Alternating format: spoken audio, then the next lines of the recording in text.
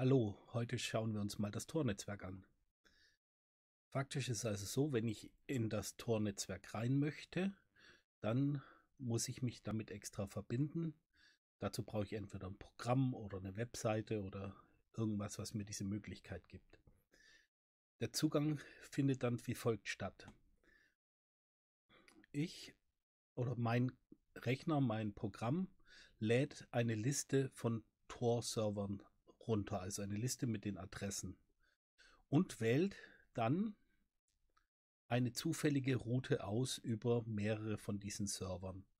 Ja, die kann jetzt so laufen, wie es hier grün eingezeichnet ist, die könnte aber auch so rumlaufen oder hier hinten reingehen und woanders rausgehen. Also beliebige, eine beliebige Reihenfolge. Ähm, ich habe immer Entry Nodes, also da gibt es eine feste Liste und es gibt Exit Nodes. Das ist auch eine feste Liste und dazwischen kann ich mich dann frei auswählen. Und wo ich reingehe, ist egal. Wo ich rausgehe, ist auch egal. Und alle zehn Minuten wird diese Route auch geändert. Damit das Ganze noch sicherer ist, wird das dreimal verschlüsselt. Das heißt, diese Verbindung von, vom Austrittsknoten bis zu Alice ist verschlüsselt.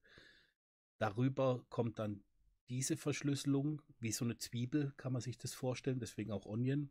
Ja, also der innere Verschlüsselungsring sozusagen, dann die nächste Schalenschicht ist diese Verschlüsselung und die nächste Schalenschicht ist diese Verschlüsselung. Das heißt also, wenn ich jetzt hier etwas, zum Beispiel eine Webseite aufrufen möchte, wird hier das erste Mal entschlüsselt, dann weiß der Eintrittsknoten, aha, die Nachricht, die geht an den hier dann wird es eben weitergeleitet. Hier entschlüsselt, dann weiß der, die Nachricht geht an den und der weiß jetzt, wo es hingehen soll. Das heißt, der kennt das Ziel nicht. Der weiß nur, wo es herkommt. Der hier kennt nur den Eingangs- und den Ausgangsserver und der hier, der kennt nur diesen Zwischenserver und die Zielseite. Das heißt, es gibt keine, kein System, was jetzt alles weiß, außer natürlich meinem System, ähm, sondern es gibt immer nur teilweise Wissen und durch die Verschlüsselung kann der Inhalt auch nicht gelesen werden. Wenn es jetzt hier unverschlüsselt ist, dann kann der Austrittsknoten natürlich das hier lesen, das ist klar.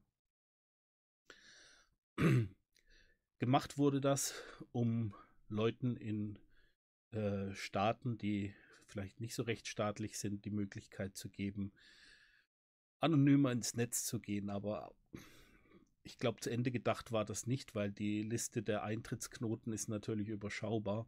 Das heißt also, wenn ich jetzt hier als Staat hier überwache, dann sehe ich natürlich genau, dass dieser, äh, dass hier ein Zugang ins Tor-Netzwerk genutzt wird. Und das kann ich natürlich auch unterbinden oder auf den zugehen und sagen, was machst du im Tor-Netzwerk. Das war eben die Idee und so funktioniert sie. Seit einiger Zeit spielen auch Hidden Services eine Rolle. Da ist dann Bob nicht einfach irgendwo im Internet, sondern Bob hat eben auch so eine Reihenfolge von Servern, über die er sich mit dem Tor-Netzwerk verbunden hat. Und das Rendezvous zwischen Alice und Bob findet dann sozusagen komplett im Tor-Netzwerk statt. Und sie kennen sich beide nicht und dazwischen sind einige äh, Tor Nodes. Diese Hidden Services, die haben so die Endung .onion. Und wenn wir uns äh, mal bei der IANA umsehen, dann stellen wir fest, es gibt hier keine Endung, die auf .onion landet. Das heißt, unsere Browser können das so einfach gar nicht umsetzen, sondern ich brauche dann eben zum Beispiel den Tor-Browser, den ich mir dann herunterladen müsste für mein Betriebssystem. Der kann dann diese Verbindung ins Tor-Netzwerk herstellen. Oder ich nehme einen Tor-to-Web-Proxy. Die gehen mal und dann gehen sie wieder nicht. Äh, von daher ist es nicht sehr zuverlässig. Aber mit dem Stichwort Tor-to-Web-Proxy findet man schon was. Und wenn ich jetzt hier auf so einen Link klicke, dann sieht man hier, dass das hier die .onion-Endung ist. Und hier in, hinten dran ist eben noch ein Punkt LY, weil Onion.ly das eben fürs Tor-Netzwerk umsetzt. Und im äh, Tor-Netzwerk, also diese Hidden Services sind im Endeffekt auch nur Webseiten, Shops, Boards, was auch immer. Und was man auch feststellt, es ist nicht besonders schnell. Das ähm, ist halt so, wenn man da über so viele Rechner und Verschlüsselung und ja. Das war, glaube ich, von oh, Timed Out. Der ging doch vorhin noch. Ah, doch, jetzt hat es geklappt. Also, diese Webseite, die ist so im Internet. Ich sehe hier diesen kryptischen Teil vorne dran, den Schlüssel des Servers, den ich aufgerufen habe. Hier das Punkt Onion und hier LY, weil Onion LY eben mein Proxy ist. So, da habe ich jetzt irgendwie zu oft geklickt. Aber es macht ja auch nichts. Ja, das war, denke ich, das Wichtigste zum Tor-Netzwerk.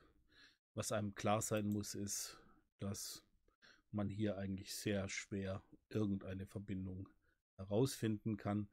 Im Wikipedia-Artikel ist erwähnt, dass wenn man genügend von diesen Proxys besitzt, also von diesen Tor-Nodes besitzt, dass dann die Wahrscheinlichkeit, dass man eben über mindestens zwei äh, Tor-Nodes geht, äh, relativ hoch ist und dass man so dann Routen nachverfolgen könnte. Das müsste man halt, äh, ja, das kann natürlich keiner wissen, ob jemand so viele dieser Proxys hat. Aber das finde ich jetzt auf die Schnelle, glaube ich, nicht. Ja, wer es genauer wissen will, kann sich hier auf Wikipedia und im Internet natürlich noch weiter darüber informieren. Okay, macht's gut. Ciao, ciao.